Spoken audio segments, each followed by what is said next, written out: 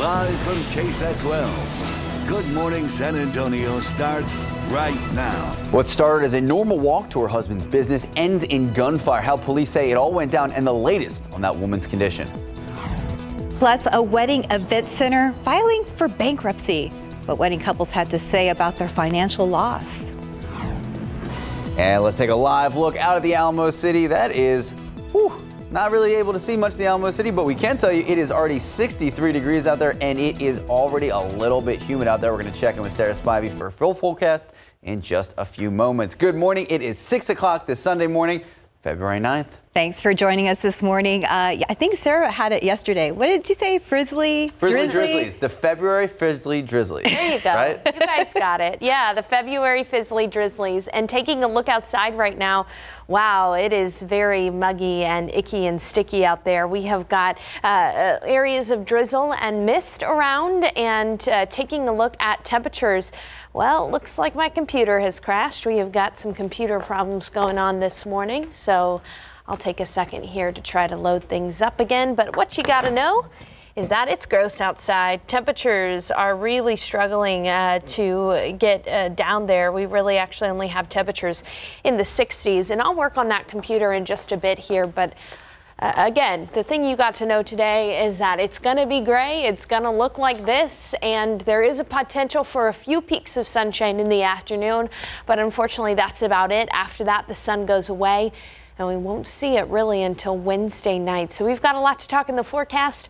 I'm going to switch over to being a computer engineer and try to fix this. I'll be back with a look at that forecast in just a few minutes. Max, Stephanie. Thank you, Sarah. Right now, police trying to figure out what exactly led to a deadly accident this morning on the city's west side. Police were called out to Highway 90 and Zarzamora Road around 4 in the morning. Our Alicia Barrera is live downtown with the latest. Alicia. Well, we know that the impact was pretty severe and police suspect that high speed could have been a factor in this accident. They police say that by the time they arrived, unfortunately, that victim, that driver, was dead on the scene. And this is what police has said so far regarding this fatal accident. It happened around 3:50 this morning. Investigators say the driver of the truck was headed westbound on Highway 90. They suspect again he was speeding down the highway, and as of now, say it played a big role in what happened next. Police say preliminary information suggests that the driver tried to exit on Zarzamora Road, but hit the wall divider head on.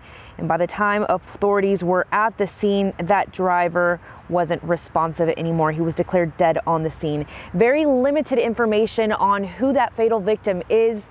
Um, we don't have much information, but I will have um, some information from the medical examiner's office coming up this morning on 6 at 6:30 on GMSA. Also, if you're headed that way, westbound on Highway 90, do know that there may be some backup because as of now on Cupples Road, it is closed down because they are still processing the scene and cleaning up. Reporting live, Alicia Barrera, KSAT 12 News. All right, thank you, Alicia. Also new this morning, one woman is in serious condition after she was shot twice overnight. San Antonio police say a woman was walking to her husband's place of business around 2.30 in the morning in the 4100 block of North Hine when she was approached by two men in a silver vehicle. Now, we're told that she was shot two times, once in the back and another time in the ankle. She was transported to SAMC with serious injuries. The two gunmen left the scene and are still at large. The victim remains in stable condition. She claims she did not know the men. And in your morning headlines, future Mr. and Mrs. at Noah's event venue here in San Antonio went from planning their dream wedding to being part of a nightmare. All of this after finding out that the venue is closing down.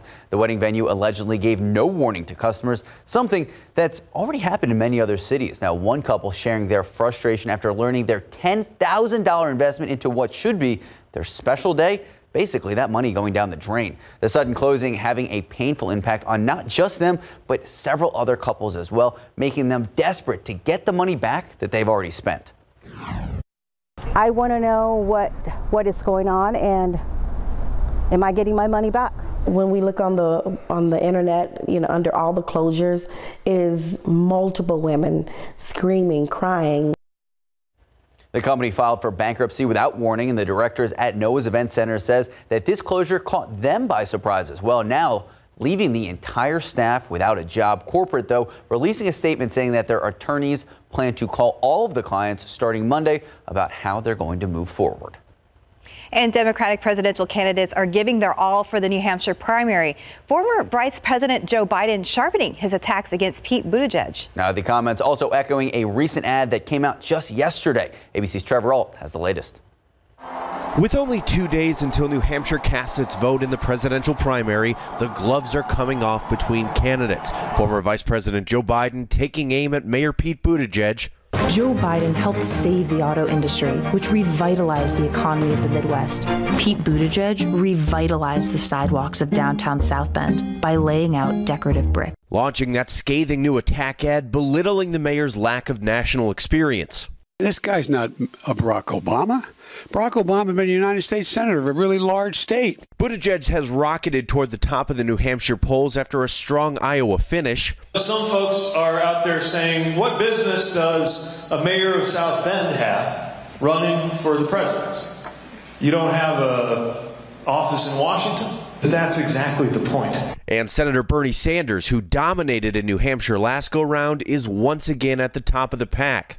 People want health care for all. How do we stop it? Well, they ain't gonna stop it.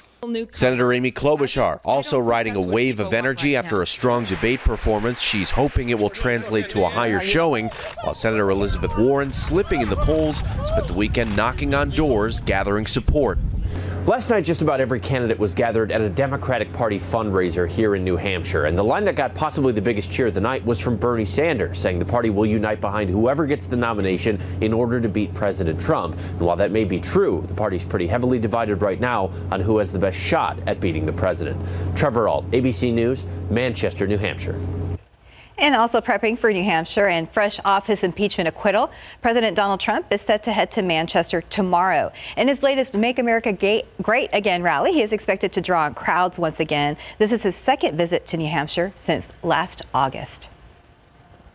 And over in Florida, the city of Parkland, along with other organizations in the area, will host numerous events this coming week for the second anniversary of the tragic school shooting. Now, their main focus of the week, healing, and serve to remember the 17 students and staff members killed in the Marjory Stoneman Douglas High School shooting. They were killed when a, when a gunman opened fire during the school day. Since then, a number of the surviving students have come out and become committed gun reform advocates.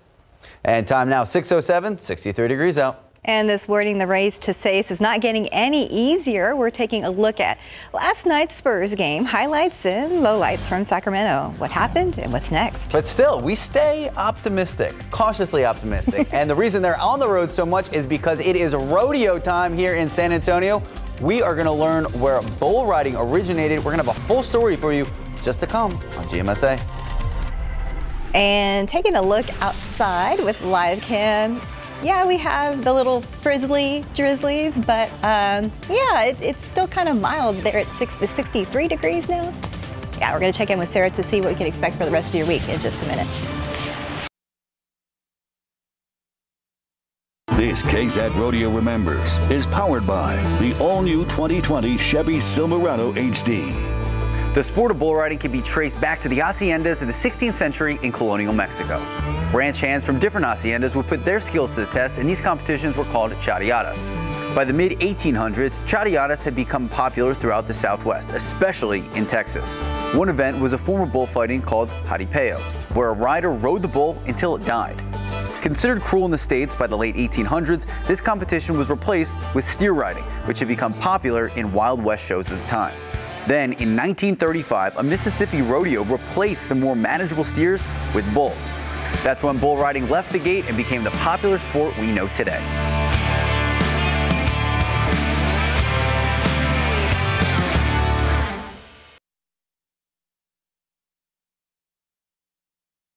And it always really is cool to do stuff like that because I yeah. learn so much when I do stories like that. You learn about the history, and we partake. I've partaken in rodeo for three years now, and you learn something new every year. It's so yeah, cool. so now you know that behind the behind the history. Behind the history, we know how bull riding. Yeah, well, all of it because we got to go out to rodeo. Are you guys planning on going to the rodeo this year? I haven't made plans yet. No, have you, other than for have work. Have you gone? Other than for work, I don't know. Because it's always like our work schedules are a little chaotic, especially Yeah. like we're here this early. They are a little chaotic. And you know what? The weather's a little different and chaotic this morning. We are starting to see areas of mist and drizzle and even some light fog in some areas. So we've got a lot to talk about in the forecast. First of all, let's go ahead and take a look at the radar here. You can see a few passing light rain showers uh, around San Antonio, but these are actually picking up on the light rain showers rather than the drizzle. Around Bexar County, that area getting some light rain right now uh, is just in the northern uh, western section of San Antonio near Helotes. And what we'll do is we'll go ahead and pan over to the east. And what you'll notice is that near the airport, we're not getting any rainfall. And that's where uh, we end up seeing uh, the rain totals for the week, for the day. And so as you know, we're probably not going to get anything reported right there. But take a look out to the uh, east, closer to the Seguin area. We're going to go ahead and zoom in here near Seguin and just east of, of San Antonio. A little bit of a light rain shower working its way up to Seguin through Nixon, Smiley, and near Gonzales. This is the kind of rain that we could see today. Just some nuisancey light rain and some drizzle. Other than that, it's pretty mild this morning. Temperatures are in the 60s. It's 63 in San Antonio at the airport, 64 at JBSA Randolph, 62 in Comfort.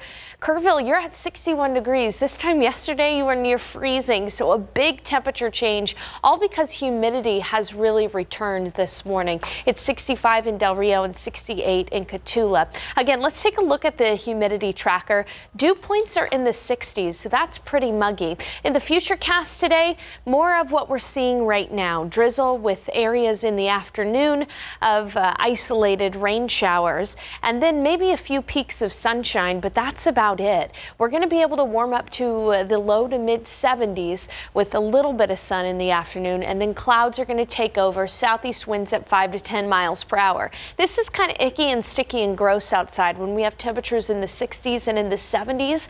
But tomorrow, a front is going to move through in the morning hours. That's going to bring with it the chance for more organized rain, especially in the morning, more widespread rainfall, about 60%, and temperatures are going to cool down quite a bit. Take a look at these high temperatures. Tomorrow's going to be an upside down day where we'll start off warm and then we'll have a cool afternoon in the 50s. Then we'll be in the 50s through the middle of the week. Another chance for drizzle and light rain on Tuesday, then scattered rain, especially in the morning on Wednesday. And then we clear out in time for Valentine's Day and part of the weekend. Saturday should be pretty nice.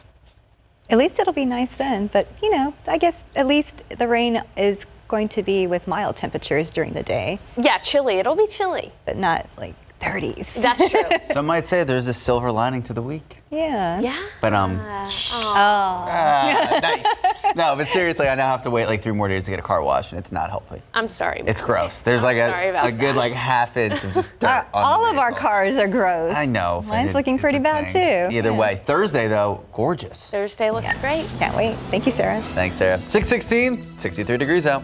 And a preview of what you can expect at tonight's Oscars, who's up for an award, and the picks from us here at GMSA. I did so much research for this. I listened interviews this morning. It was extensive. Didn't need to do much research for this game, though. We're going to be talking about the Spurs taking on Denver tomorrow. But here's the thing a lot has already happened on the Rodeo Road Trip. We're going to go over that and talk about what's next. And we have your winning lotto numbers pick 3 227, Fireball 3, Daily 4 2968, Fireball 4.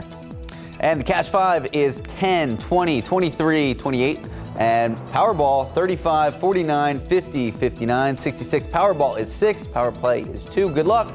We'll be right back.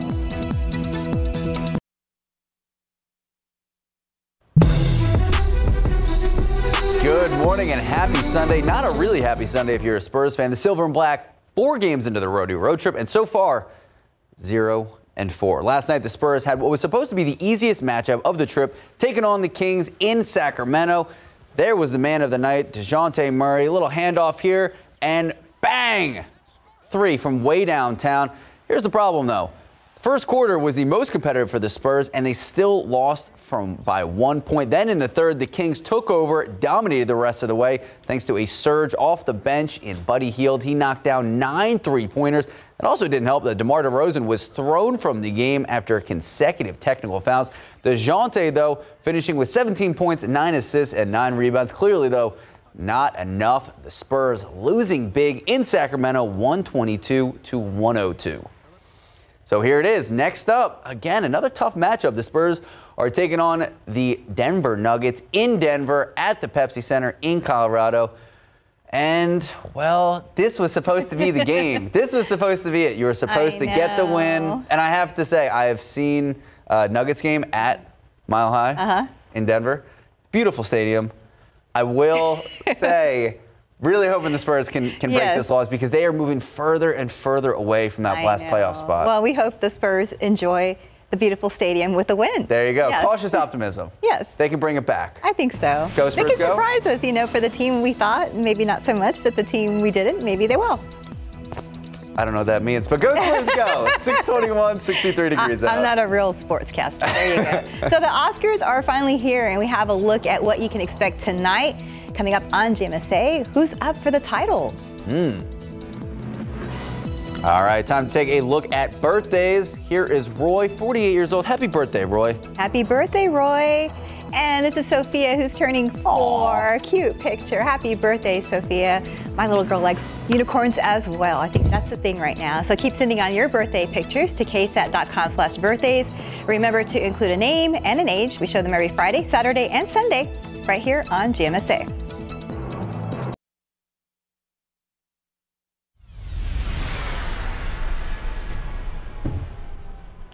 And welcome back. It's 625. So the 92nd Annual Academy Awards is about to get underway in Hollywood with some of the historic records that may be shattered. As tensions continue to build up, we have a preview of the nominees that you can expect to hear about. Korean film Parasite, potentially the first film to win Best Picture and Best Foreign Film. 뭐야 소독해? 창문 닫아 나도 봐. 공짜로 집안에 소독도 하고. The nomination also a first for director Bong Joon-ho and Cynthia Erivo receiving acclaim for her role in Harriet. Would you like to pick a new name to mark your freedom? Harriet She could be the youngest person to win the EGOT, an Emmy, a Grammy, an Oscar, and a Tony. Scarlett Johansson looking to become the first person to win two acting awards in the same year, up for Best Actress in Marriage Story. I didn't ever really come alive for myself. I was just feeding his aliveness. And Best Supporting Actress for Jojo Rabbit, also the first nominations of her career. Among first time nominees, President Barack Obama for the documentary American Factory. If it wins, he would be the first U.S. president with an Oscar. That wears Very did not know that. interesting. I didn't know that either. I'll have to check it out. That's awesome. All right, well, time now is 626, 63 degrees out. And here at GMSA, our crews decided to get in on the Oscar picks for tonight's show. All right. What did you think? I, so I'd only seen a few. Uh-huh. Um, Joker, I picked. Um, I just, you know, it's great. I oh, love. for the movie? Yeah, yeah, yeah. We're just going to start with Best Picture. Parasite. I Okay. picked Joker. Well, I picked, well, actually, I, I put two, and I guess they just picked one. I put 1917, and I also put Parasite. Mm. It's just, um, I don't know. It- you know, Parasite's not a, not a pretty movie, but it was very good. I haven't seen Parasite yet, but it's on the list. Yeah, you need to see it. Yeah, it. I did. I did pick Parasite to win. I think it would be really wonderful to see them win uh, foreign film. Yeah, and Best, and Picture. Best Picture. Absolutely. Yeah, and the director's up as well. All right, what do we got next? Do we have any more? We'll do more later. I guess. We're going to do more throughout the show. That's a tease. Make sure to stay with us throughout the morning. Yeah. Boom. Parasite. Parasite. Uh, over two dozen people killed in a mall shooting overseas. We're going to have the latest from Thailand. And back here at home, a man sideswiped by a train overnight. How would San Antonio police say it all went down. Good morning and welcome back. 631 this Sunday morning. And yesterday, it ended up being kind of a nice day. It was dreary out in the beginning of the day. But then it got nice a little later on. It did. Yes, I was did. upset because Uh-oh. I was like, okay, inside? I was gonna run all my errands in the day. I go to Uh-huh. sleep very early. Yes, you And then once I was done with everything, I went inside and the sun came out, and I was like, Why? Well, just go out for a second and enjoy it. No. Easier you- said than done. Sarah, didn't are we expecting the same thing today? I did that just to spite you, Max. I made sure the sun came out right when you had to go to bed. No, uh, we are not going to see as much of the sun today. In fact, it'll be hard for us to fe- see a few peaks of sunshine in the afternoon, but it is possible. Right now outside, it is much warmer than seasonably average. We usually see a morning low temperature right around 40 uh, in the 40s, but right now uh, we're well into the 60s. It's 63 at the airport. It's 59 at Boerne Stage Airfield, 61 in Kerrville, and 62 in Comfort. On top of that, we have areas of fog, mist, and drizzle out there uh, with some uh, light rain, a little bit more organized to the east of San Antonio, close to Seguin. Uh, you can see crossing uh, I-10 right now and Highway 90, some uh, splotchy, isolated free car washes out there. Uh, but that's about it for us. Other than that, uh, we're looking at some light rain through the Nixon Smiley area, generally east of San Antonio. Let's go ahead and take a look at visibility. Just about a lot of us dealing with uh, some drizzle as well, and that's reducing visibility down to a mile and a half at Boerne Stage Airfield, down to three quarters of a mile in New Braunfels, and down to half a mile at the airport. So please use caution on the roads this morning if you have to be out and about this early Sunday. Uh, and then we'll carry a chance for isolated light rain through about the lunch hour. A few peaks of sunshine in the afternoon as we see a high temperature near 73. Then it'll be a mild evening before a cold front arrives tomorrow morning. All of the details on our temperature drop and our rain chances, which actually continue through the middle of next week in just a few minutes. Max, Stephanie.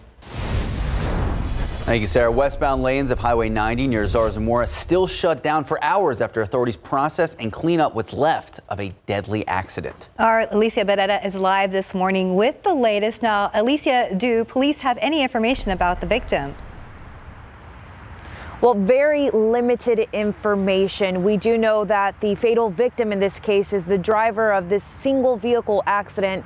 I did call the medical examiner's office and they say they don't have a positive ID on the victim just yet, but police say that he's a male in his early 20s. And this all happened just before 4, exactly 3:50 a.m. Authorities say the driver of that truck was headed westbound on Highway 90.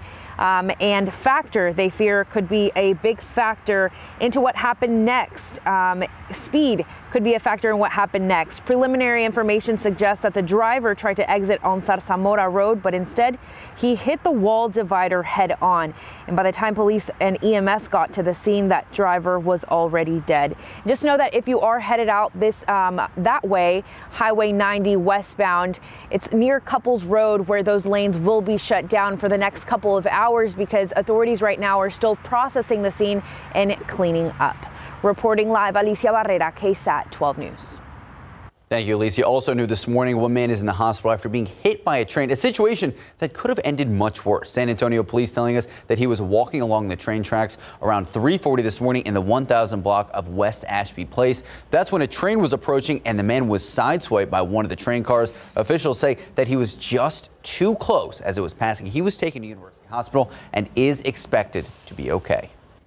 In your morning headlines, the coronavirus outbreak numbers continue to rise. The latest figures reported by global health authorities show more than 37,500 people with the virus and more than 800 deaths. Now, mainland China has reported the virus death toll has risen to 811, surpassing SARS deaths in the 2002-2003 outbreak.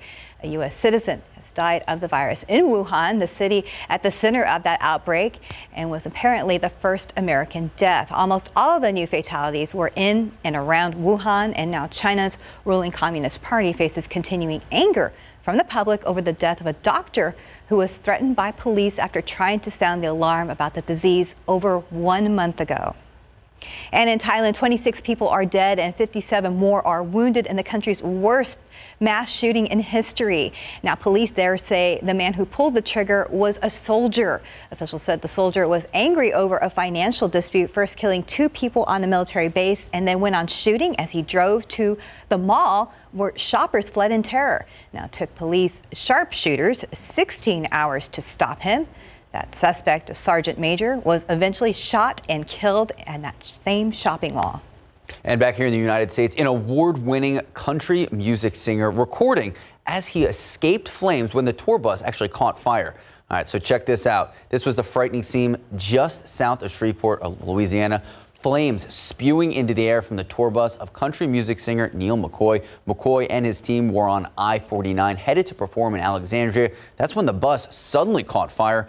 All six on board did get out safely. McCoy actually went live on Facebook documenting the whole thing. The bus, known as Old Glory, is a total loss. Investigators now working to see what exactly sparked the blaze. And New York police searching for the person responsible for an assassination attempt on police officers. They are reporting that someone opened fire on two officers sitting in a marked van in the Bronx overnight. They say the suspect walked up and asked a question, engaged in conversation, and started shooting. One officer was hit in the neck and chin and somehow is expected to be okay. The second officer wasn't hurt. That shooter ran away. Now authorities released photos of a suspect and are asking for the public's help to identify him. Time now 637, 63 degrees out. And GMSA is getting in on the Oscars fun. just ahead who is up for an award later tonight and who we think will win. And celebrating a healthy heart lifestyle, how one organization doing their part to make a difference and where you can hear them out. And taking a look outside with live cam this morning. So that is a look at our neighbor there, Central Catholic. it's probably because we can't see too much off in the distance, but 63 degrees right now, mild as far as the temps, but we're going to check in with Sarah to see what we can expect for the rest of your day.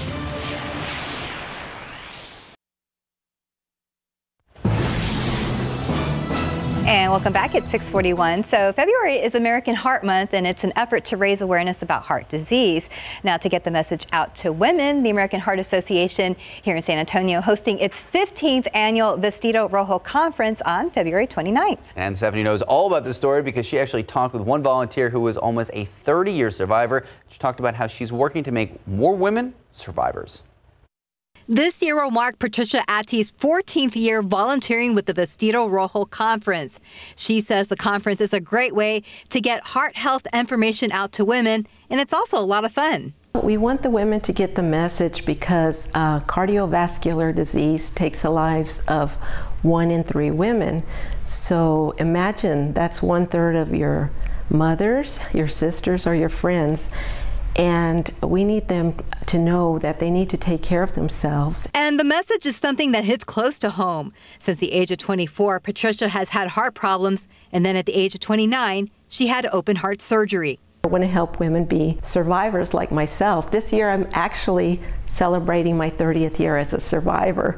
So, you know, I'm very happy. The goal of the conference, Patricia says, is for everyone to be aware of the warning signs so participants can take care of themselves and their families. Just last year, a participant recognized the symptoms after the conference and went to the ER right away. In the past, you know, she said, I don't think I would have, you know, I would have just blown off those symptoms, but she said, I knew something wasn't right, and everything that I've heard, you know, it, I remembered, and I don't want to wait, and I went to the ER right away. And sure enough, she did need help. That woman ended up needing a pacemaker and is doing much better today. She will also be attending this year's Vestido Rojo conference. And some warning signs of a heart attack. This is according to the American Heart Association. Chest discomfort, discomfort in other areas of the upper body, shortness of breath with or without that chest discomfort, and breaking out in a cold sweat, nausea, or lightheadedness. And this really is such an important message to get out there. I mean, heart health can't be talked about enough, especially this month. And there was even a participant, like, you know, in the story, she was saying that she came forward and said that it was a week last year, a week mm -hmm. after the conference last year, she had some of these symptoms and, and she, she was there, she remembered, and she went to the ER. And, you know, it was a good thing that she went. So wow. she's doing great now. So we're glad to hear that. Yeah, glad yeah. to hear that. All right, taking a turn to weather. Yes. Yesterday ended up being a nice day. Today, yeah. Not so much. Not so much outside. You'll have to use those windshield wipers if you're going anywhere this morning because not only is there drizzle, but those roads are damp, so there's a lot of road spray out there too. Let's go ahead and take a look at the radar. You can see the light radar returns east of San Antonio, very splotchy in nature, but around San Antonio and in Bexar County, we have got areas of drizzle and, and even some very light returns out in the uh, northwestern part of the county, just outside of the the 1604 loop just south of Helotes. So a few light returns on the radar, but again, drizzle doesn't show up on the radar, so you'll just have to take my word for it. There is some areas of drizzle out there and some light rain along I-10 towards Seguin uh, and uh, in areas like Nixon, Smiley, and just south of La Vernia as well. And while I've got this forecast up right now, you can see there is a very light return just north of Windcrest and southeast of Wetmore. But again, there are areas of drizzle out there, and that's really affecting visibility. Visibility is as low as a quarter of a mile in San Antonio at the moment, as low as uh, three quarters of a mile up in New Braunfels. So make sure to use those low beams while you're out and about early this morning, uh, because if you use those high beams, it tends to, the light tends to scatter uh, all on those particles, and it actually becomes a little bit more difficult to see. Right now outside, boy, it's kind of muggy. at 64 in San Antonio. Uh, that's nearly 20 degrees above what we usually see this time of year for our morning low. 64 out in Del Rio and 68 in Cotulla. But as we zoom out, notice how much colder it is up to the north. This is the source of our next cold front, which is actually going to be moving through tomorrow morning. But first, what you'll notice today is just the gray, damp, and drizzly weather. A few isolated light showers like what we were seeing out near Seguin on the radar, and maybe even a few peaks of sunshine briefly in the afternoon. That'll allow our temperatures to get up into the low 70s, but by tomorrow morning, right at about 9 to 10 o'clock, we'll have that front move through, and that'll create uh, more organized showers and a broken line, maybe even a poss possibility of a few rumbles of thunder. So tomorrow morning's commute is going to be a little tricky. Go ahead and give yourself an extra 15 to 20 minutes to get to school or to work. Then that front will move through for the rest of the day, and we'll actually see temperatures which will start out near 70 degrees, drop into the 50s, as you can see in this future cast uh, for tomorrow morning. And so it'll be breezy and cool tomorrow. But first, we have to get through today. Again, cloudy with areas of drizzle and light rain, some sun in the afternoon, 73 degrees, but not as nice as yesterday. Southeast breeze at 5 to 10 miles per hour. Then our temperatures take a tumble because of tomorrow morning's cold front, and we'll spend the middle of the week only in the 50s for high temperatures, and we'll have a good chance for rain through Wednesday as well, with the potential, maximum rainfall potential for about half an inch to an inch of rainfall for many areas, including Del Rio, maybe up to half an inch of rain. Del Rio is in extreme drought at the moment. Take a look at the seven day forecast as we summarize everything I just said. Basically, what you need to know is that the first part of the week here through the middle of the week is going to be damp and it's going to be chilly. So, time to bust out those sweaters. It's sweater weather. For sure. And rain jacket weather. And apparently. rain jacket weather. Thankfully, we'll clear out by uh, by. I was going to say Thanksgiving. My mind's in November. We'll clear out by Valentine's Day. Well, a lot of people love Thanksgiving, That's so there you go. Okay. Wow. Thanks, Stephanie, for saving me there. Thank you, All right. Sarah. Well, here on GMSA, our crew decided to get in on the fun for tonight's award show right here on ABC. All right. All right. I'm not sure which one. We're the mm. best actor. We're gonna- Best actor? Best Yeah, we're gonna actor. start All with best actor. right. All right. Well, yeah, Joaquin Phoenix. I went Joker. Can't go wrong. Oh, Yeah, I think we all said that. Except for Rosalind. Well, Adam yeah. Driver. Actually, no, no, no, no. I'm, He did great. I'm retracting my Joaquin Phoenix. I'm going Adam Driver Really? because I'm staying with Joaquin. here's my problem. Sorry for all Star Wars fans. I thought he was not great in Star Wars. No. I didn't think he was a good actor. And then I watched Marriage Story and I was like, wow, he was really good. So if you have a Well, that's performance, different content. I know, but it, I don't but think the Academy see- is sitting there thinking about how his performance. But if you can have a performance that can completely change my decision on how good an actor you are, Uh, I'll say that's that was the best. No, he did great, but I just thought Rosalind- Rosalind is right. He did do good. He yeah, did do really he did do. All right. He did do great. Time now, 649, 64 degrees out. All right. Well, can parents learn something from their kids? Yes. Yes, they can. I know I have. When it comes to climate change, that story next. All right, let's take a look out at the roadways. Like Sarah was saying, there is going to be some spray on the roads. It's going to be damp conditions. So if you are out and about this Sunday morning, running errands, headed to church, make sure to drive safely and smart. We are going to have your full forecast coming up at 8 o'clock. And we're going to check in with Sarah before the end of the show. We'll be right back.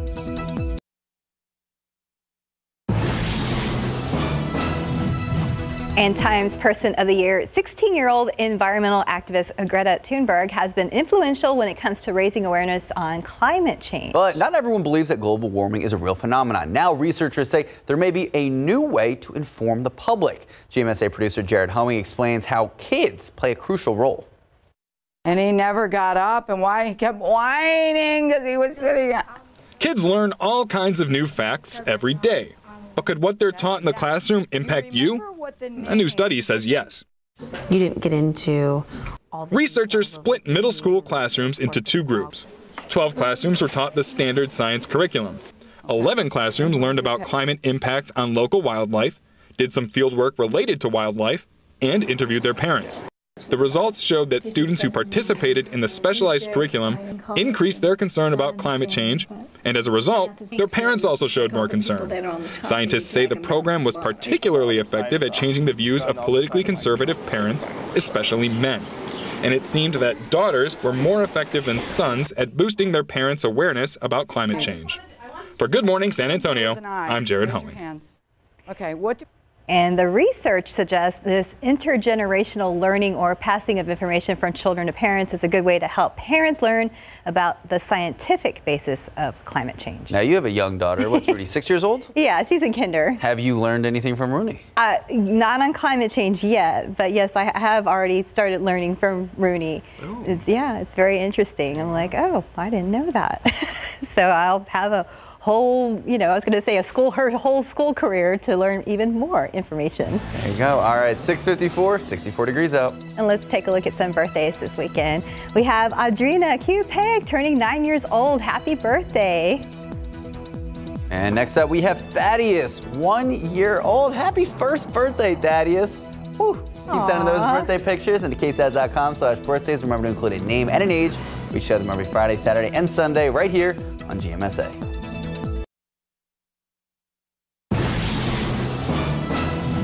Good morning. Coming up here on GMA, the death toll for the coronavirus now surpassing SARS and passengers quarantined on a cruise ship in Japan. At least 70 people on board infected with the coronavirus as concerns over the global outbreak rise. Plus, two American soldiers dead this morning after an ambush in Afghanistan and what appears to have been an insider attack. This morning, the motives unknown. And finally, the Oscars are here. The stars and the sparkle just hours away. We're bringing you behind the scenes and taking a sneak peek at what to expect from the red carpet looks. That's all ahead here on GMA.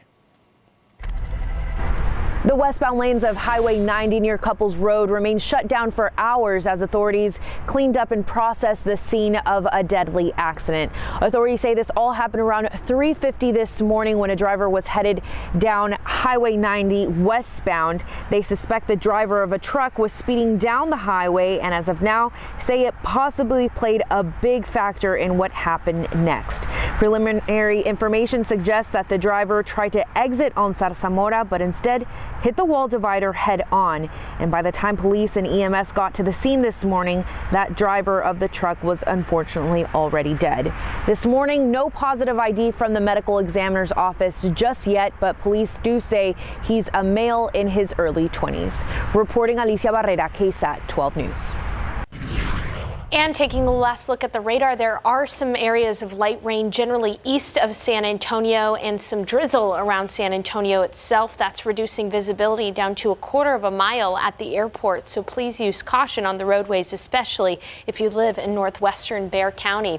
Today we'll have a small chance for isolated rain through about noon, a potential for some sun in the afternoon and temperatures warming up to near 73. But tomorrow morning's cold front is going to drop our temperatures down into the 50s. 50s, guys. Rain chances through Wednesday.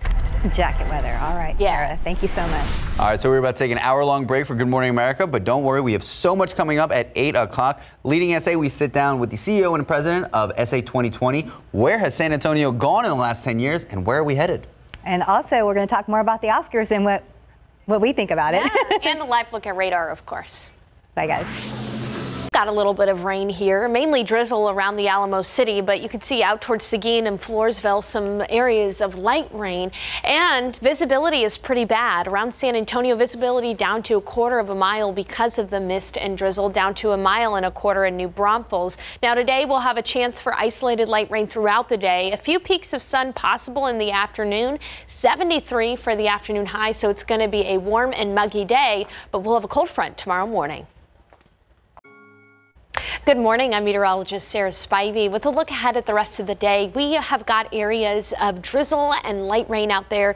It's damp, dreary, and drizzly outside. Around San Antonio, kind of difficult to see, but there are some light showers right on the Wilson and Bexar County line, uh, just uh, to the uh, east of Calaveras Lake at the moment. But most of the light rain is east of San Antonio near Seguin. But that doesn't mean we don't have areas of drizzle out there. In fact, areas of drizzle are reducing visibility around the airport uh, to less than a quarter of a mile. So please use caution on the roadways. Visibility is only at a mile up at Boerne Stage Airfield, generally north of Highway 90 and out toward New Braunfels. Uh, there are some areas of fog and drizzle. We'll have isolated showers today, a high near 73 with a few peaks of sun in the afternoon. And then a cold front tomorrow morning is going to send our temperatures down into the 40s and 50s for three days in a row with a chance for rain. We do have some areas of light rain, especially east of San Antonio, but generally drizzle, which is reducing visibility around San Antonio. We'll carry a chance for light rain throughout the day. A few peaks of sunshine in the afternoon. All in all, it's going to be a pretty warm day. Live from KSAT 12. Good Morning San Antonio starts right now. A walk to her husband's business ends with a woman getting shot. Alicia Barrera is live with what police say happened and what we know this morning. And the Democratic presidential candidates are getting ready for the New Hampshire primaries. Who is saying it's time for a new voice and face in Washington? And let's take a live look out at the Alamo City. This is what we're looking at right now 65 degrees to start your Sunday morning. We're going to check in with Sarah to see if any of this is going to clear out throughout the day and throughout the weekend. Good morning. 8 a.m. this Sunday, February 9th. Thanks for joining us this morning. Yeah, it doesn't look like we can see too much outside mm-hmm. right now. I'm happy though. It's 65 degrees, so not cold, yeah, which mild. is ideal. Mm-hmm. But Sarah, are we going to have any conditions like yesterday? Well, we do have a small possibility to see a little bit of sun in the afternoon, just briefly, but all in all, today will be gray. Yesterday, we'd had those clouds stick on until about 2 o'clock in the afternoon. Today, it'll stay mostly gray. And as you can see from that live cam view just a little while ago, we've got areas of fog and drizzle out there, and even some areas of light rain. Drizzle is too light to show up on the radar, but we are getting some light rain showers out east of San Antonio. Uh, you can see through Seguin and even down in Wilson County. We'll go ahead and zoom in on this little rain shower at the moment south of La Vernia, working its way uh, across 87 and 123 just around Stockdale. A quick splash and dash shower. But again, other than that, we're really just dealing with drizzle and mist around Bexar County. In fact, visibility in, in the northern part of the county north of Highway 90 is less than a quarter of a mile in many places, including the airport and at Boerne Stage Airfield right on the Kendall and Bexar County line. Visibility down to a mile and a half in New Braunfels. Again, this is because of the drizzle and, fog in some places. Uh, temperatures a lot warmer than how we started off uh, the day even yesterday and in fact a lot warmer than average. We usually see a morning low in the upper 40s this time of year and we're sitting nearly 20 degrees above that. That's because humidity has returned. It is muggy outside. Max and Stephanie were right. It's it's not cold. It's in fact it's going to be very mild through the rest of the morning. Isolated showers pretty much all day but especially in the morning hours and then if we do see a few peaks of sunshine in the afternoon. That'll bump up our high temperature today into the low to mid 70s. Southeast breeze today at 5 to 10 miles per hour, keeping the humidity high. Today is going to be mild and muggy, but tomorrow and throughout the rest of uh, most of the week, we are going to be a lot cooler with a decent chance for rain. Much needed rain as many of us are dealing with drought. A lot to unpack in the forecast, and we'll get down to it in just a few minutes. Max, Stephanie? Thank you, Sarah. A scary scene this morning on the city's east side after police responded to a call for a shooting. Now, one woman was taken to the hospital and the shooter is still on the run. Our Barrera, is live this morning with what happened. Alicia. Good morning. Well, I can tell you that the victim was shot on this block while walking to meet her husband. You can actually see some of the crime scene still left from last night's scene, and we know that the victim's injuries are serious. This um, shooting was reported around 2:30 this morning here on the city's east side. Um, we're told the victim was walking on the 4100 block of North Hine Road, not far, not far from MLK Drive and South WW White Road. The victim told police she was walking to her husband's workplace when a vehicle pulled up next to her. She claims someone in the vehicle pulled a gun and shot twice. Police say the woman was shot in her lower back and her ankle. She's now at BAMC Hospital in serious but stable condition. Police this morning have yet to make an arrest. Just ahead on GMSA at 8:30 this morning, do police have any leads on who these suspects are and if there's a motive? I have that coming up. Reporting live, Alicia Barrera, KSAT 12 News. All right, thank you, Alicia. New this morning, a man is dead after hitting some barriers head on at Highway 90 and Zarzamora. Now, police say it happened at 4 in the morning when a 20 year old man was driving his truck at a high rate of speed and hit the barriers head on. Police are telling us that the man was dead when they got there. That investigation is still ongoing. In national news, it's the final sprint for the New Hampshire primary, and things are heating up as Democrats make their final pitch to voters. Former Vice President Joe Biden is sharpening his attacks against Pete Buttigieg, but the former South Bend mayor say it's time for a new voice and a new face in Washington. And former Amy Klobuchar reportedly raised at least $2 million in just hours after Friday night's debate. New Hampshire primary is this Tuesday. And 10 years ago, after five public meetings and the input of more than 6,000 San Antonians, the Alamo City compiled a list of issues they wanted to see maintained or improved by the end of the decade. Now, those 11 issues range from arts and culture to uh, transportation to education to economic competitiveness. The nonprofit SA 2020 was formed, and it was formed to keep San Antonio on track to meet these goals. We are now in 2020, so in this week's Leading SA, I sit down with the president and CEO of SA 2020, Molly Cox, and we check in on the progress and what's next. I think uh, the state of San Antonio is one that is showing incremental progress. Uh, 72% of the indicators we currently track are moving in the right direction. Um, so doing better today than they were in 2010 when we started. SA 2020 works with more than 160 different organizations across various sectors of our community to actively make our goals a reality. There's something very uh, powerful, right, about a community vision that was written by humans who live here then being the agenda by which policymakers create policy or public institutions invest dollars or nonprofits shift the way that they're doing um, their programming. One of the mantras of the nonprofit is that data is important, but it doesn't tell the full story.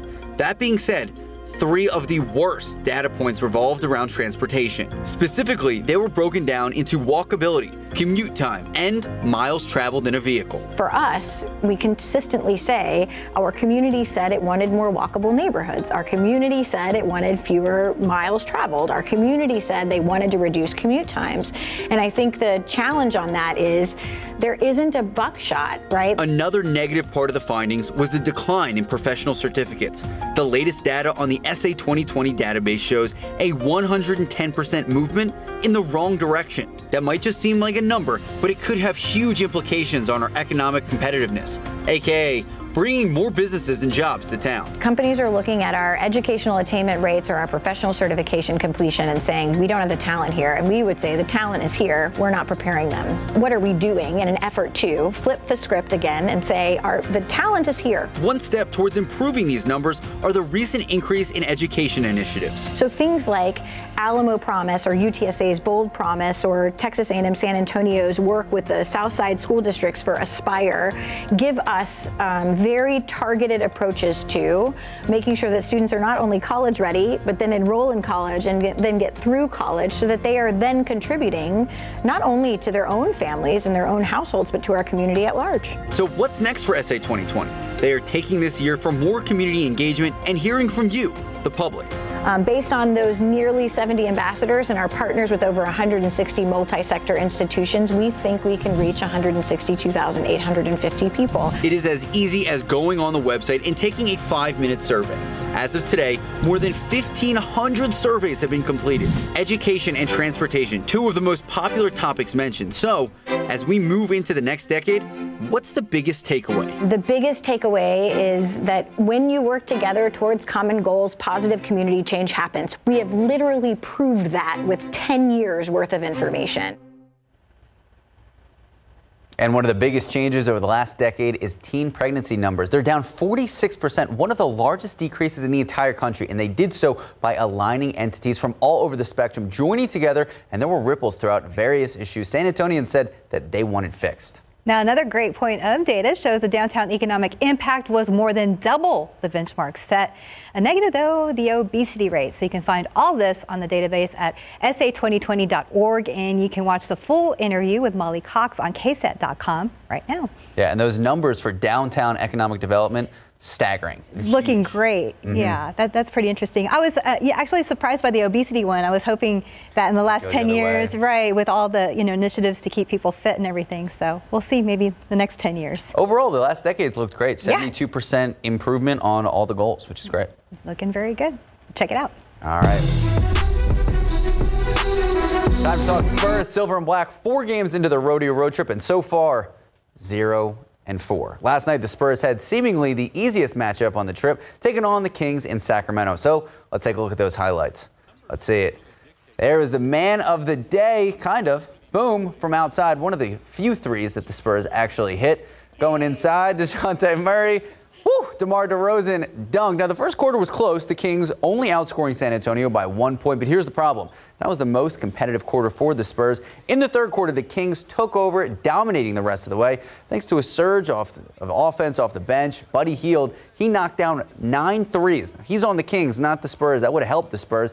It also didn't help the Spurs that DeMar DeRozan thrown out of the game after consecutive technical fouls. DeJounte Murray, though, the lone bright star of the game. He finished with 17 points, 9 assists, and 9 rebounds. Clearly, though, not enough. The Spurs lose 102 to 122. So the rodeo road trip continues tomorrow, 8 p.m. They are headed to Denver, taking on the Nuggets at the Pepsi Center in Colorado. I have to admit, when the game was starting, I was already getting ready for bed. Yeah, no, it's, it's not easy. it's a late game, yes. Yeah, thank goodness for replays. Yeah, but go Spurs, go. Go Spurs, yes. go. 810, 65 degrees out. And the Music Man is in town, the Woodlawn Theater, kicking off the year with this amazing musical. We're going to have more about it still ahead on GMSA. And also still ahead, you might like thin crust, deep dish, or hand tossed. You guess what I'm talking about yet? Can you see it in front of you? It is National Pizza Day. I prefer deep dish. Yeah, I do too, but I try to stay away from it. The problem is you can't reheat deep dish well. No, the problem is the calories. Shh, calories don't count on National Pizza Day. Let's take a live look outside. I wish. So we can't see much, but I'm say I'm hearing that we're looking at the south side, right? yes, that is correct. Okay, there is the south side. Trust us. Yeah, looking a little drizzly out there. We're going to check little? in. Yeah, we're going to check in with Sarah. We should be expecting more rain, but she'll give us the full details just ahead.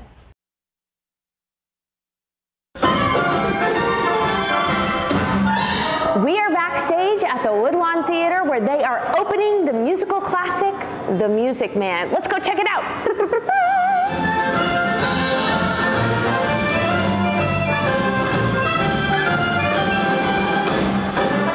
Man is about a uh, basically a con salesman who travels to Iowa and tries to scam this one town by saying he can start up a boys band when he doesn't know how to play music. The musical is amazing, actually. It's one of those like classic Broadway musical pieces that you don't see very often. There's great dancing, amazing songs, beautiful singers. Everyone in this cast, I'm just truly amazed by how everyone sounds. Um, and there's some really funny parts too. The Music Man is at the Woodlawn Theater from January 31st to February 23rd. Sarah Spivey, KSAT 12 News. You know what I love about community theater? All of those people have wonderful and extremely normal jobs outside of yeah. musical theater. Yeah, a couple of people that I was talking to there. The actress, The actress, uh, teacher at Northwest Vista, and the guy there, he works at USAA. So it's so cool. It really is a community theater. So go out and support community theater yes. if you can. Of course, we've got the Oscars tonight on KSAT, but We've got a couple of stars of our own this weekend at the it, Woodlawn. It shows uh, their passion, though, Definitely. because it is community. And so this is their extra time on top of their jobs and all their other uh, I was going to say all their other requirements in life. yes, yes, Stephanie, well said. Let's talk about the weather and talk about uh, the areas of drizzle around San Antonio right now and the areas of light rain.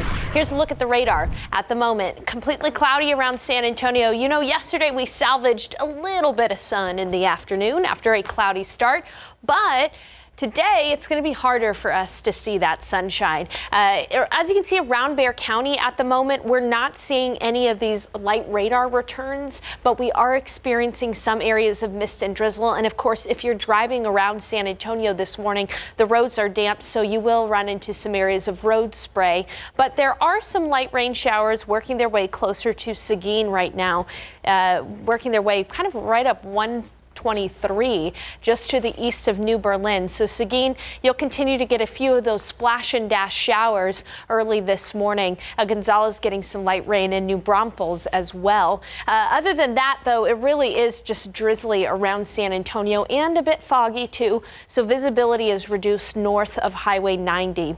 Uh, temperatures, though, much warmer than seasonably average. Our average morning low this time of year is about 43. So we're working at about 20 degrees degrees above that average morning low. And not only around San Antonio, but also out toward Del Rio at 66, 69 in Cotulla, and they're starting the day at 71 in Laredo. Humidity is pretty high and really returned pretty quickly. This time yesterday, our dew points were very dry in the 30s. But as you can see, that green color totally encompassing all of the map, that is muggy. Whenever we get a dew point above 60 degrees, that's when you really start to feel the mugginess in the air. And take a look at the future cast. You'll notice that splash and dash isolated showers will be possible for most of the day, especially this first part of the day. Maybe a few peaks of sunshine in the afternoon but that's about it. And it's going to be a little bit on the warmer side too. A high temperature likely in the low 70s. Southeast wind at 5 to 10 miles per hour. Again, we will have some sun in the afternoon and then it'll be mild this evening. Temperatures today much warmer than average, but we do have a cold front on the horizon.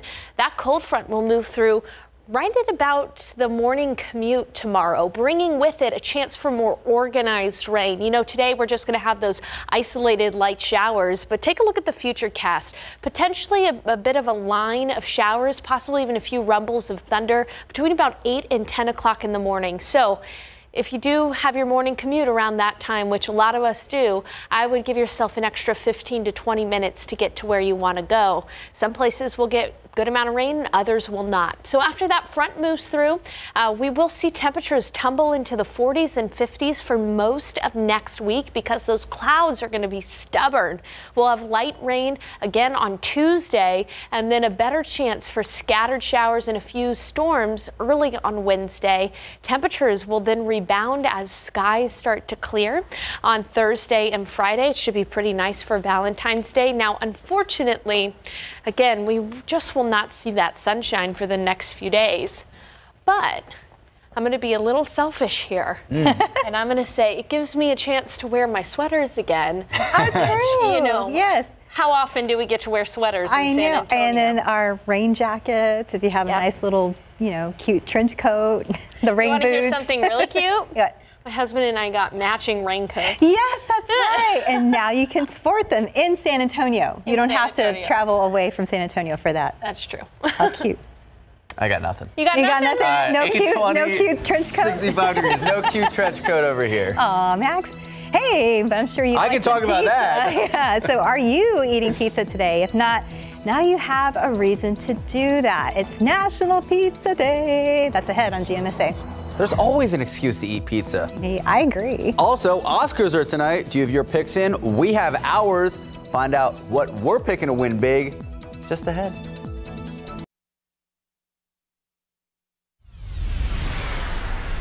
Good morning and welcome back. 824 this Sunday morning, an important Sunday. If you're an Oscars fan, we have our top picks for best actresses. I picked Cynthia Erivo, Harriet. I actually just picked her because I listened to an interview before work this morning.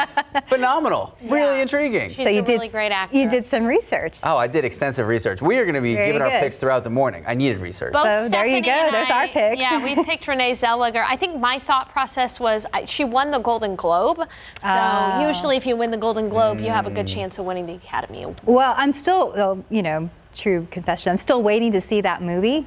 Um, Hmm. So I haven't seen it yet, but I've seen a bunch of previews. Yeah, and and I've looked it up, and I'm like already, already Right. impressed. Gabby, our producer, picked Charlize Theron from Bombshell. Mm. Uh, just and she said it's just because she's the underdog, which I thought was pretty great. Well, you never know. It'll be interesting to see who, who It takes will. it. All right. Well, while you're watching the Oscars tonight, you might as well enjoy a big pizza. You want to know why? Because it tastes good. No, I'm just kidding. Well, yes, but because it's also National Pizza Day. I'm kidding, Max. Yes, National Pizza Day. And for centuries, pizza was primarily a dish enjoyed in Italy. But pizza truly became part of American culture after World War II as U.S. soldiers stationed in Italy developed quite the taste for it. Hmm. So, just how popular is pizza? Well, according to the National Association of Pizza Operators, that is a heck of an association, about 3 billion pizzas are sold every year just here in the United States. Most everybody I know loves pizza. I have to say, uh, Are you about to throw shade at pizza right now? No, no. The only person I knew that, that didn't like pizza Mm. was my, my grandfather, but he's. Mm. Uh, but I don't think he, he grew up with it. I mean, if he were alive, he would be 120 years old. So that- that's it wasn't in his generation. But Well, everybody to else I know loves pizza. Love pizza. 3 billion sold here in the U.S. I probably account for 1 million of them.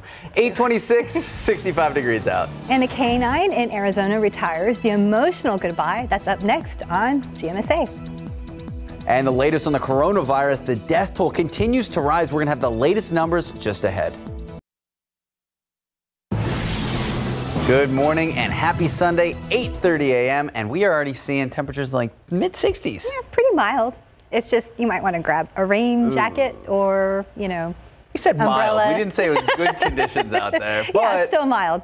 you can't get a tan today. That's a big problem. No, you Right, have Sarah? all summer long to do oh, that. Oh, Max. I love when Priorities. your- I love when your Philadelphia accent comes out a little bit. You can't get a tan today. That's kind of. That's more New Jersey, but that's neither here nor there. Oh, sorry. I'll go get a glass of water. uh, no, let's take a look at the pollen count. We do have it just coming in uh, this morning. Thankfully, everything is low. Mold is low, elm is low, and ash is low as well. Mold a little bit higher than both uh, the tree pollens there. Mold is low at 490. Uh, but again, like Max and Stephanie were saying, it is gray out there. We have seen a reduction in the light shower activity just out to the east uh, near uh, Seguin and Gonzales at the moment, starting to see those uh, dissipate just a little bit. But Seguin, you're about to get a, a brief moderate rain shower just for uh, probably a few minutes before that pushes on north uh, toward the Guadalupe Comal County uh, boundary there. And visibility has improved a little bit around San Antonio, but there still are areas of fog and mist. Uh, visibility back up above a mile around the airport, but down to half a mile at Boerne Stage Airfield, right at the Kendall and Bexar County line. And temperatures this morning very mild. You won't really need a jacket unless it's a rain jacket. 63 in Bandera, 62 in Kerrville, 67 in Castroville, 64 in Tarpley, 65 in New Braunfels, and 64 at JBSA Randolph. We'll carry these clouds for us throughout most of the day. There could be a few peaks of sunshine in the afternoon, but other than that, 30% chance for drizzle and light rain, southeast wind at 5 to 10 miles per hour. Believe it or not, better rain chances right around the corner, all thanks to a cold front busy forecast coming at you in just a few minutes. Max, Stephanie? Thanks, Sarah. A 911 call came in around 2:30 this morning on the east side for gunfire in the 4100 block of North Hine Road. Now that's near MLK Drive and South WW White. Our Alicia Barrera is live with the latest. Now, Alicia, have police said if they have any leads on who the shooter could be? Well, they're actually looking for two suspects, two men, but that victim says that she's actually never seen either of them. So the only piece of evidence really that police have to go off of, of this morning is the color of the vehicle, which is a silver vehicle. So again, police this morning looking for a si- silver vehicle with two suspects inside. According to the victim, it was just before 2:30 this morning when she was walking to meet her husband at his job. Then a vehicle pulled up to, next to her. She claims Those two men were inside that vehicle. At least one of them pulled a gun, shot twice, and again took off. The woman we know was shot in her lower back as well as her ankle. She's been taken to BAMC. She is in serious but stable condition, so authorities are hoping that she recovers and that way they can speak to her this morning and hopefully get more information to track down those two men who are still on the run. Reporting live from the city's east side, Alicia Barrera, KSAT 12 News. Thank you, Alicia. Also new this morning, one man is in the hospital after being hit by a train overnight, a situation that could have been much worse. San Antonio police telling us a man was walking along train tracks around 340 this morning. All of this happening in the 1000 block West Ashby Place when, as a train was approaching, he was actually sideswiped by one of the train cars. Officials say that he was just walking too close to the train as it was passing. He was taken to University Hospital in stable condition and he is expected to be okay. And a 16 year old boy is in serious condition after getting hit by an SUV while riding his bike. According to police, the teen was riding his bike on Glen Avenue in Bordeaux when a woman in an SUV hit him. The woman told police she did not see the boy, but she did stop to help. The boy was taken to Sancy in serious but stable condition. No charges will be filed. And a teenager is dead and another charged with murder after a shooting in Arlington. Arlington police saying that 16 year old Samuel Reynolds intervened to stop a 15 year old who was assaulting and bullying another teen a few days ago. Then yesterday, the bully tried to confront Reynolds, pulled out a gun, and shot him. Reynolds later died. The suspect, the 15 year old, arrested soon after, now facing murder charges. And two American soldiers are dead and six wounded after an attack in eastern Afghanistan. U.S. officials say an Afghan dressed in an Afghan army uniform opened fire late last night. The gunman was later killed. Six U.S. service members have been killed in Afghanistan this year. And last year, 22 U.S. service personnel died from hostile action. Chinese authorities now trying to slow the rapid spread of the coronavirus. The global death toll risen to more than 800 people, including one American citizen. As of today, 813 people have died from the virus. That's more than the deaths of SARS, the severe acute respiratory syndrome outbreak of 2003. Now, the number of infected globally now more than 37,000 people, with over 2,000 new infections confirmed in mainland China overnight. Important to note, none of the coronavirus evacuees here in San Antonio have been diagnosed. And time now 836, 65 degrees out. And the K-9's last day at work, how the police department in Arizona got to say goodbye. And it is a big day in Hollywood. Who are going to be the winners? Who are going to be the losers? The Oscars are tonight, and we have a full preview just ahead. Look at that little face. I mean, just it, no, don't hide. We want to see you. We're going to see more of her. There we go. Coming up after the break Good Morning San Antonio. And taking a look outside with the airport live cam, can't see too much, but there is a roadway there, trust us. Uh, yeah, weather, you know, a little drizzly may not be the best day to wear your Oscars gown, but maybe you don't have to worry about that here in San Antonio. We'll be right back.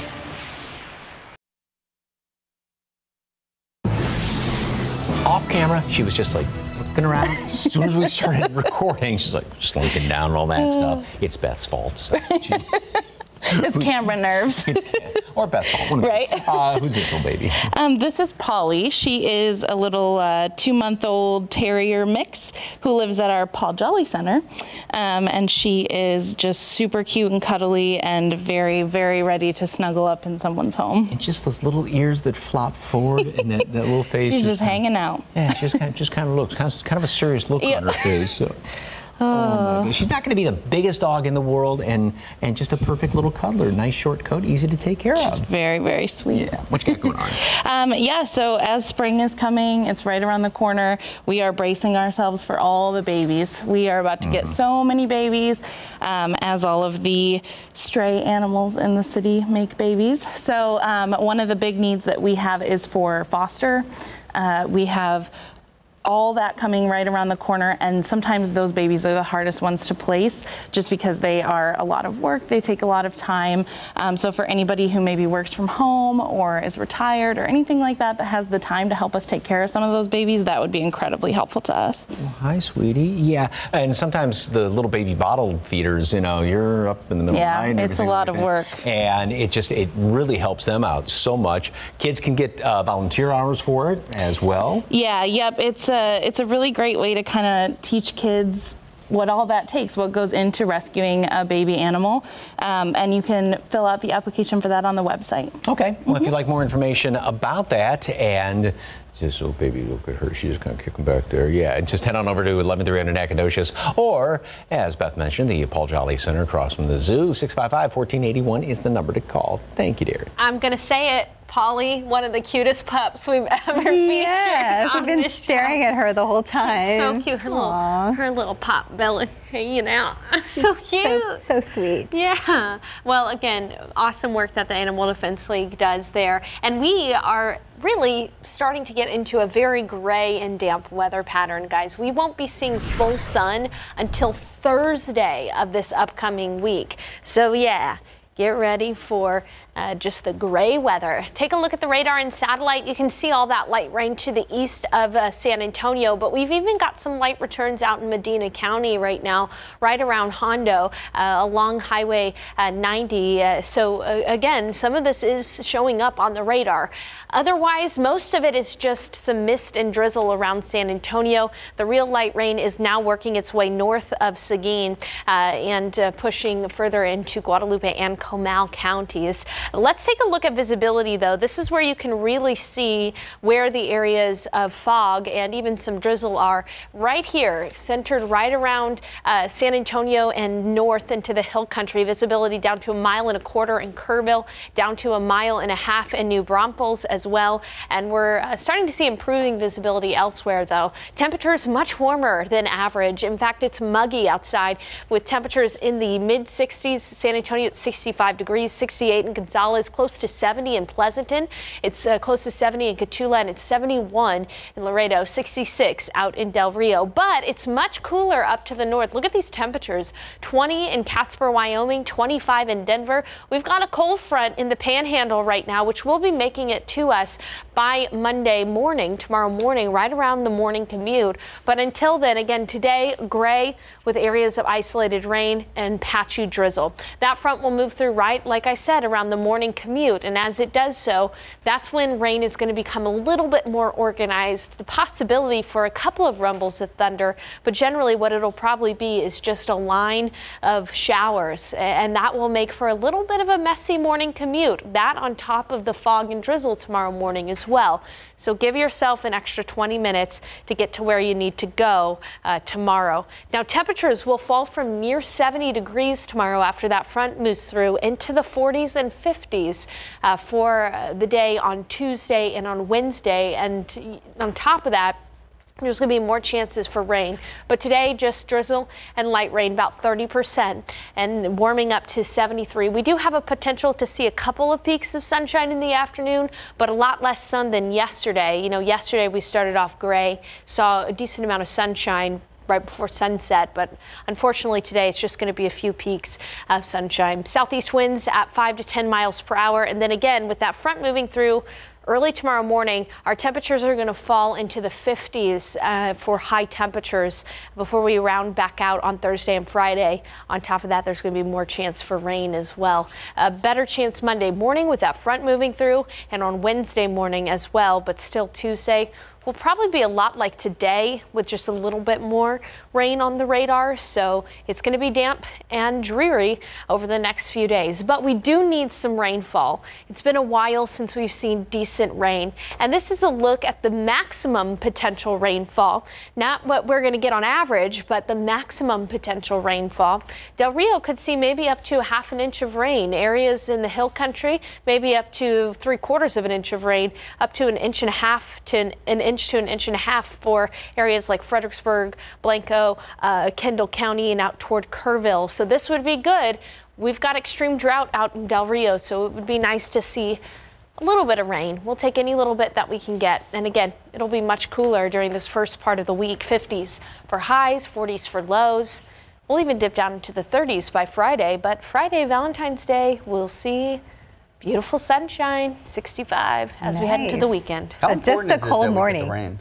So important because, uh, you know, we usually don't see that much rain in January and February. So if we can get a decent amount of rain, we'll be good. All right. So it's good that we have it. Yep. Thank you, Sarah. Thanks, Sarah. 846, 65 degrees out. And by the end of today, we will know who is taking home Oscar Gold at the 92nd Academy Awards. Mm-hmm. And they are tonight. ABC's Romina Puga at the Dolby Theater in Hollywood with what we can expect later tonight. The red carpet is rolled out and ready. And tonight we'll find out who's taking home one of those coveted Oscars. The show is going hostless for the second year in a row, a format that raised viewership last year. Even though there's not a host this year, you can still expect there to be plenty of star power at the Oscars. There will have big name presenters, big name performers. It'll be a very, very Hollywood centric night. A historic night for some. I'm gonna be thrilled. Like Cynthia Erivo, who would be the youngest EGOT winner, which stands for Emmy, Grammy, Oscar, and Tony, if she takes home an award. It's just so crazy, though. It's crazy. And, you know, it would be a huge honor. Um, I don't know what I will do if it happens. The pressure has been building for the nominees. The Best Supporting Actor category this year is completely stacked with acting legends. Tom Hanks, Anthony Hopkins, Al Pacino, Joe Pesci, and the youngest in the group, Brad Pitt, all Hollywood veterans. Me an actor? No, I'm a stuntman. One film critic favorite, Laura Dern, has already taken home several other awards this season for her supporting actress role in Marriage Story. Part of what we're going to do together is tell your story. Will she also win that Golden Oscar? And South Korean thriller Parasite, wowing audiences and critics alike with six nominations. Likely to win Best Foreign Picture, but is also nominated for Best Picture, only the sixth film to ever be recognized in both categories.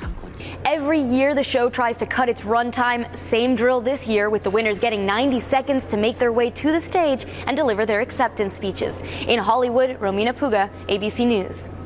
All right, well, it is time to make our Oscar picks. This time we are talking Best Director. I chose Sam Mendes, director of 1917. And I picked Sam Mendes as well, just for those interesting shots. And I picked Bong Joon-ho, who did Parasite, and the reason why is he has created so many other films that are wonderful, and I'm so excited that uh, he gets the recognition from the Academy Awards. Gabby agrees with you as well. Yeah, he's created a lot of really awesome films. Now, right, so- now I'm hoping, though, real quick on Mm-hmm. Parasite, uh, I'm hoping that might get Best Picture. Yeah, that would be great. So it's kind of like a, I mean, it, it's not like a cult movie, but like, can you explain to people who might not have seen it what yeah, it is? Parasite for Mhm. sure. Okay, so it's about this family uh, that lives in Korea, and they are uh, like blue collar working class family, and they Struggling. Struggle, yeah, and uh, they kind of take on the role of trying to trick this upper class family uh, to hiring them. And then they work their way into that family's lives even further, and it leads to chaos, confusion, and the like. Yeah, but it's very interesting. Very interesting. I haven't seen it yet. You, That's why I need- you should see it. Perfect. All right, time to go to teases. It is 8:49, about 65 degrees out. And a video going viral how a police department in Arizona got to say goodbye to their beloved K9. That's next on GMSA. All right, time to take a look at those birthdays. First up Aw. is Mike, 50 years old. He's got a beloved canine of his own. Happy birthday, Mike. Cute pic. And this is. Yes, we have her, Samantha. That's a cute pic. Six years old. Oh my goodness, I love this. I love her expression. Happy birthday and keep sending your birthday pictures to ksat.com slash birthdays. Remember to include a name and an age. We show them every Friday, Saturday, and Sunday right here on GMSA.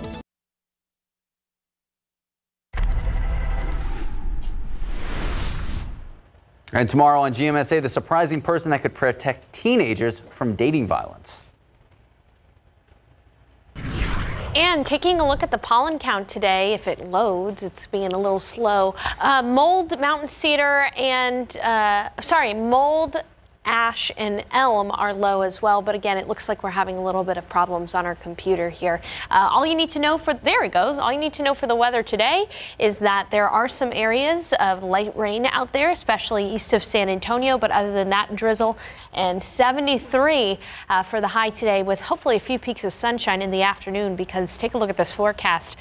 We're going to say goodbye to the sun temporarily until late Wednesday.